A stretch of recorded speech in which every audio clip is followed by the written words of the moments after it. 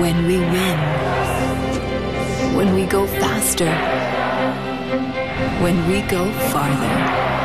Capture that moment. Make it yours. Share it.